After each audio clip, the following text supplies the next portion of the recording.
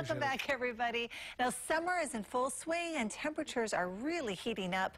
Now, sadly, that means for many, electric bills are also rising. Yeah, and then there's those that uh, have visited RevoluSun's Innovation Center on Ward Avenue and learned there are ways to beat the heat and keep the bills down. But if you haven't, we have a few uh, we have for you today in our innovation uh, energy innovation segment. I'm still thinking about stretching. Sorry.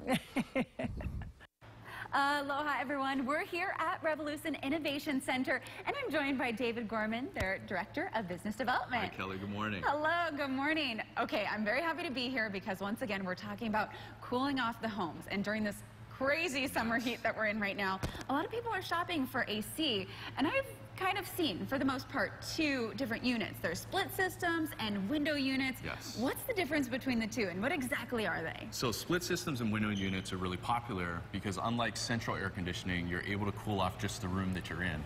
The reason why central air conditioning systems cost so much so much to operate is you have to cool off the entire house, even if you're just in the bedroom or you're just in the living room. So with a window unit, you're able to install uh, that air conditioning system just in that room. Usually it's hanging out the window, and it's usually making a lot of noise. And the reason it makes a lot of noise is all the parts are in that one box, the compressor and the cooling coil and all of that. Um, a split system breaks it up into two. And so you have your indoor unit that's on the wall uh, in the room, uh, and then you have your outdoor unit. And this section here is on the outside of the house, but these are the refrigerant lines going from the outdoor compressor to the indoor unit. Okay, very interesting. And okay, I know there's some obviously limitations on where you can have a window unit Yes. because it has to be where the windows are. But are there other limitations that those have? Yeah, well, so window units, you know, they do usually go in a window. You can cut a hole in the wall and install them in the wall as well. Um, you know, people, you know, really don't like them because they're really noisy. Um, also, if you install it in a window, you're taking up that great window, right? And so you're not going to be able to open that window and benefit from fresh, cool air coming into the room. You're also going to block light that's coming into the room, and you know, it's kind of an eyesore.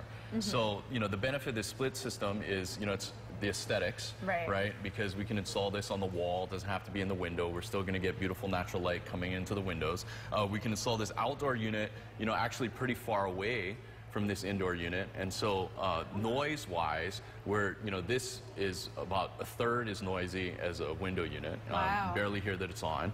And then this outdoor unit, we can position it outside the house, and so you're not going to hear the fan running and things like that as well. Okay, that's perfect because aesthetics is so Yes. key, especially when you're in your home and you're wanting to relax. You don't Yeah. want to hear the constant noise of your uh, AC unit just buzzing along. right. But that's that surprises me that you can actually have these pretty far away from each other. Yeah, and you can actually have one of these power multiple of these. Wow. So uh, up to four or five rooms, uh, you can cool with a single outdoor unit. Okay. And what about installation? Is this easier to install then than a window unit? Well, you know, window units can be like a weekend DIY, right? right. So you can install it yourself. You're going to want to hire uh, a licensed contractor to install this split system. Mm-hmm. Uh, but there's a, a three inch diameter hole that we cut into the wall to run the refrigerant lines on the outside.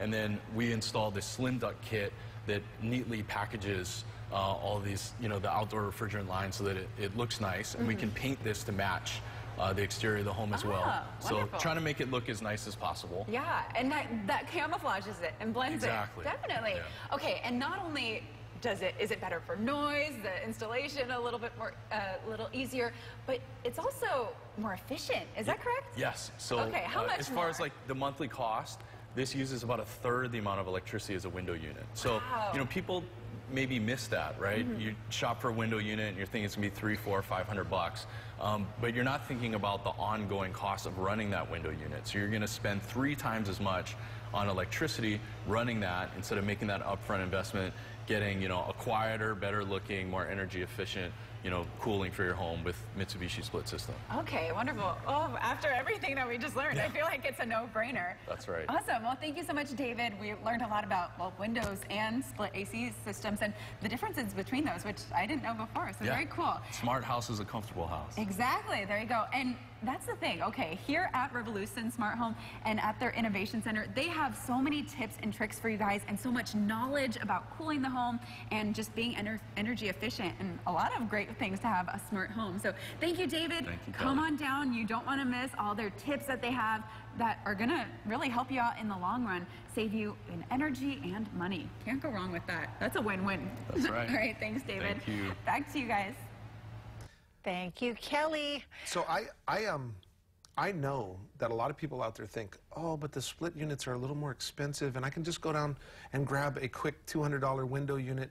I will tell you firsthand that the and I know that a lot of people know this from experience, but the split units do save you money. And my electric bill was $400, I swear. It was $400 at one point, and I had window units. And then I removed a few of them and I put in a couple of split units, cut it in half. It really does save money, and those. I guys are helping. you. Yeah, but they have a lot of different ways to cool down your Yeah. home. Oh, so, yeah.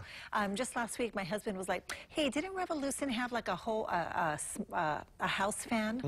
Um, I don't know if you've seen those segments where you. Yep, yep. the pillow gets stuck to the ceiling. So we might be doing that because um, parts of the house super hot. Well, that also just, I mean, if you do have an AC, cooling down a cooler house is way more energy efficient, Efficient. than trying to cool down a hot house. So, yeah. yeah, absolutely.